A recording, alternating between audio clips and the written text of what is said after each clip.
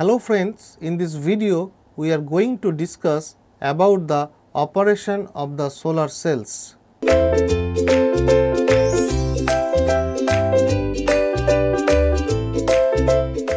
This solar cell device is nothing but a PN junction device and it operates on the photovoltaic effect.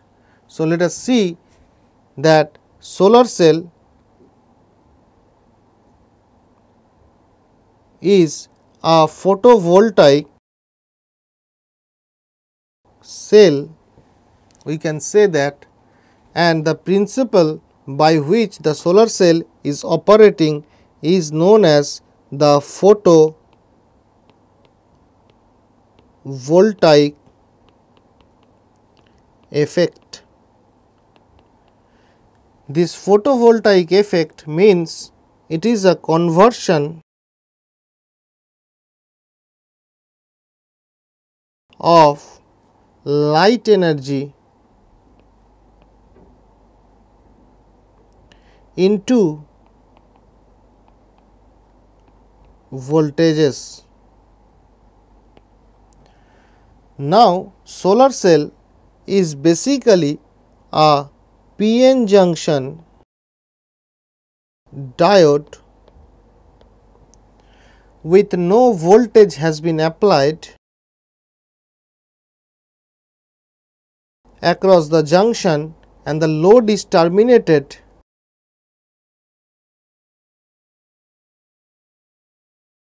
across the junction.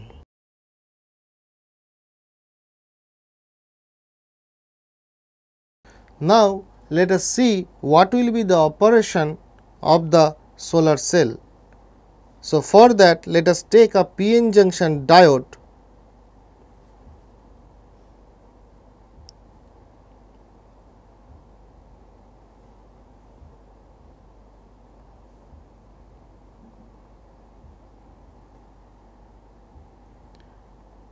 So, this is a PN junction diode where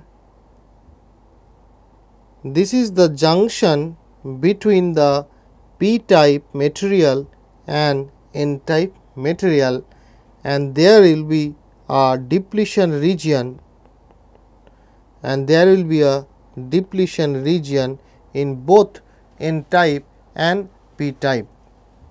Now, let us connect the p type and the n side by an resistor RL. Now, let the light is incidenting on this depletion layer. So, this is the light that is incidenting on this depletion layer. Since the light is incidenting on this depletion layer, so the light energy means the photon particle energy will be absorbed by the semiconductor and hence some amount of electrons and hole pair will be generated inside the depletion region. Now, as we know that inside the depletion region there will be a built-in electric field directed from N to P.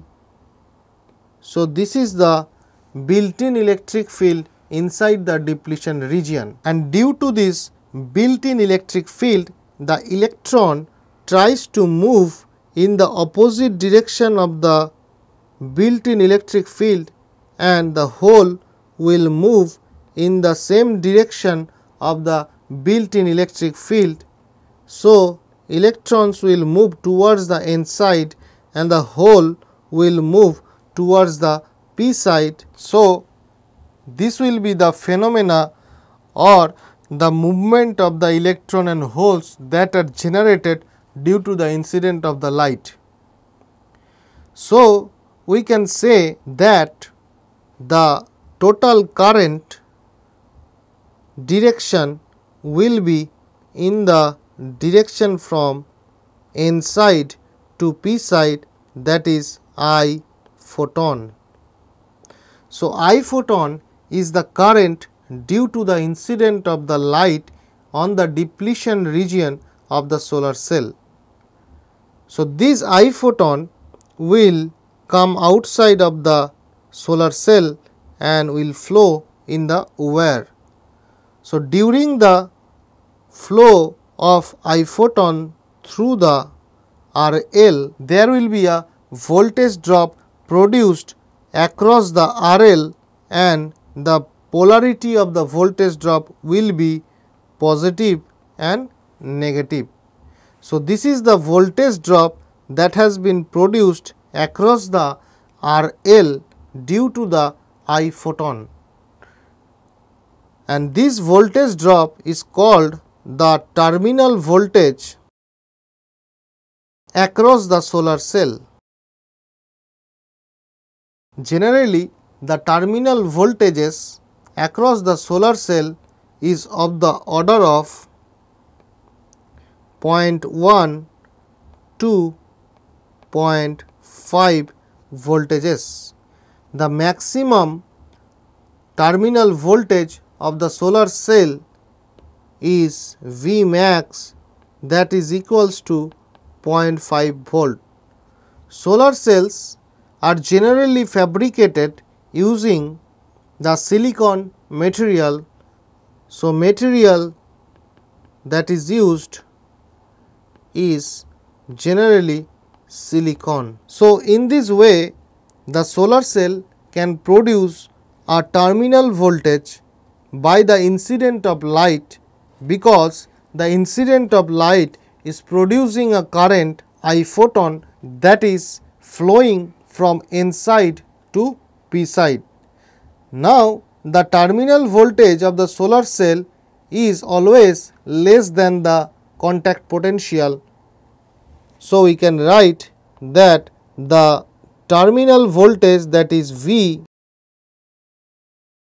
will be always less than the contact potential VBI or built in potential.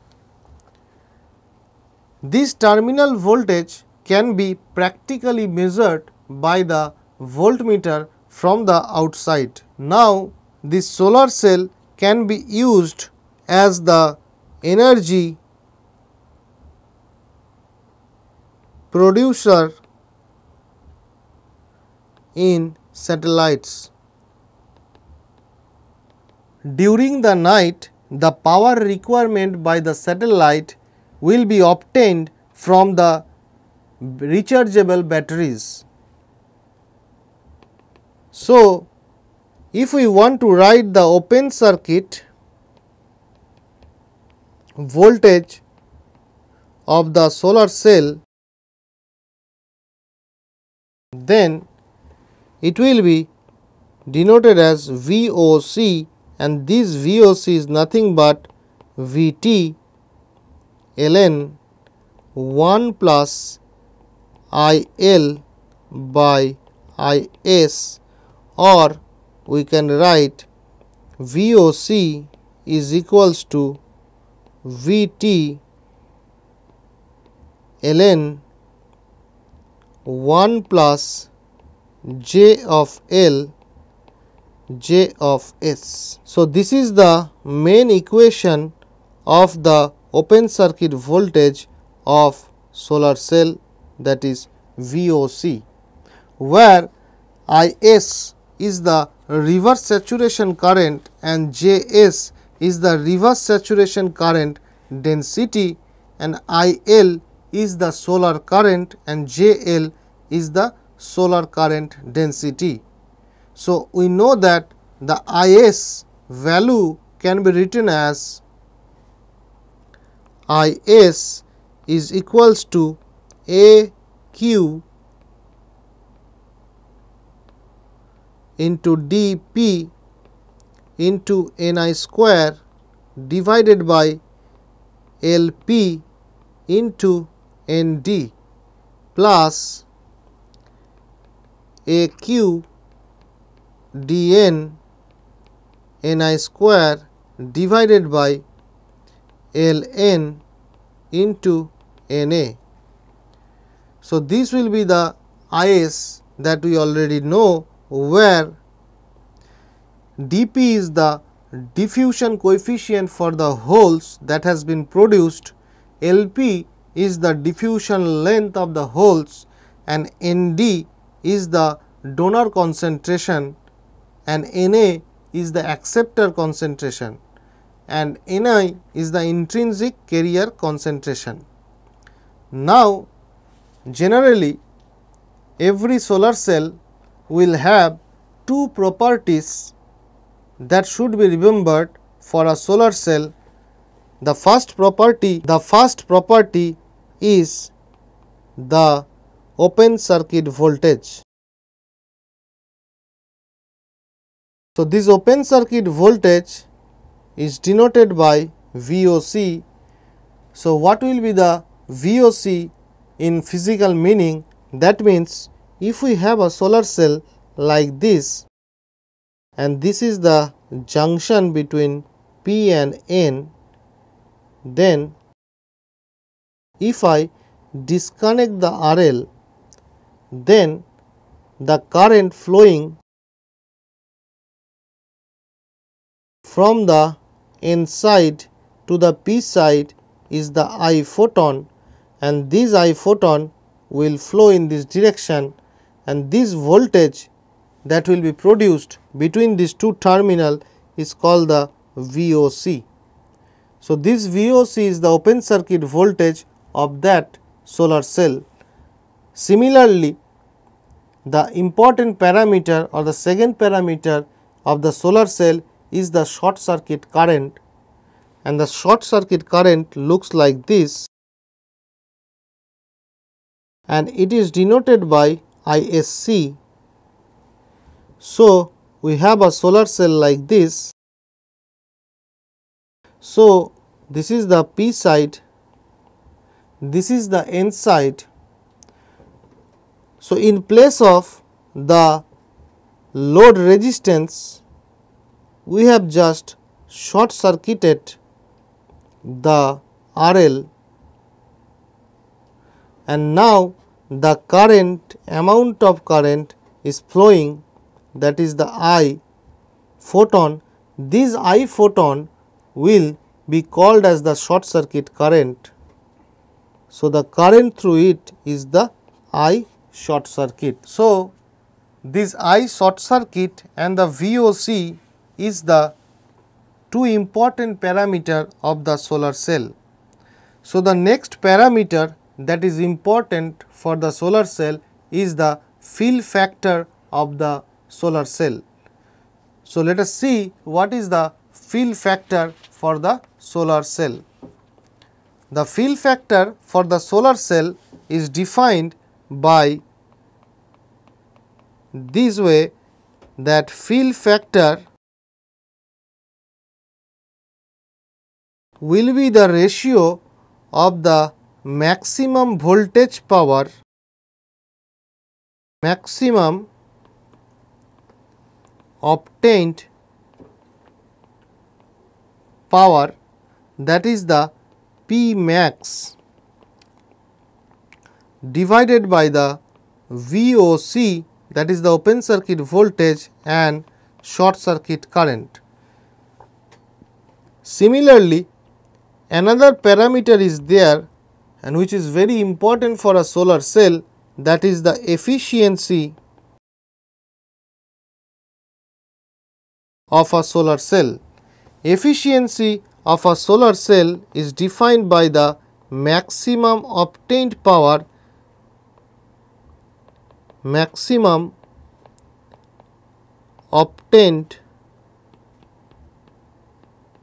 power that is the P max divided by capital G into A where G is the input light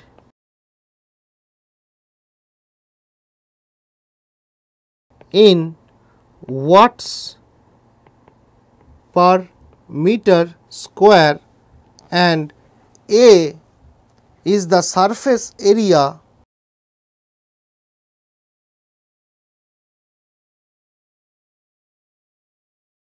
of the solar cell in meter square.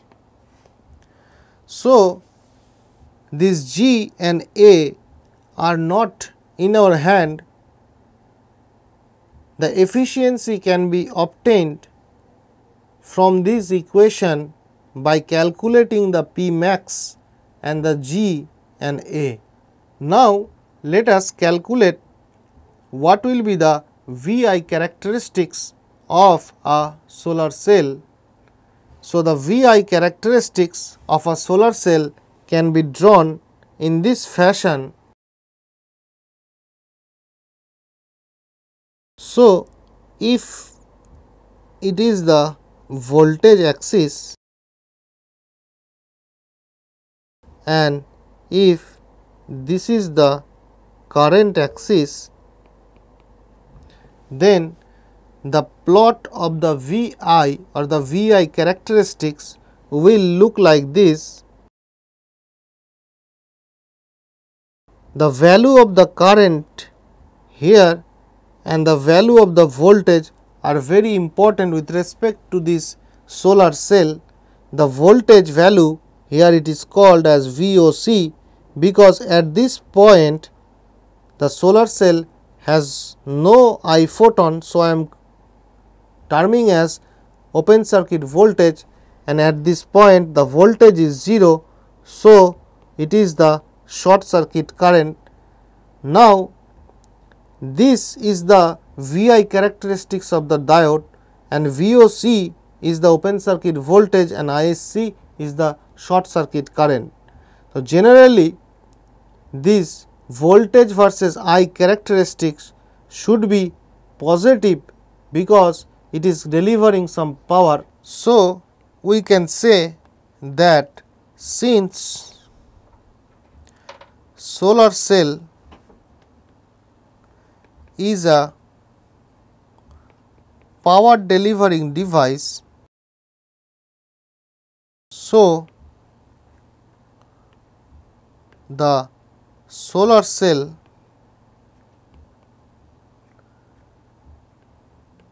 power value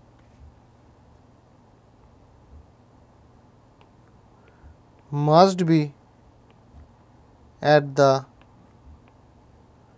fourth quadrant.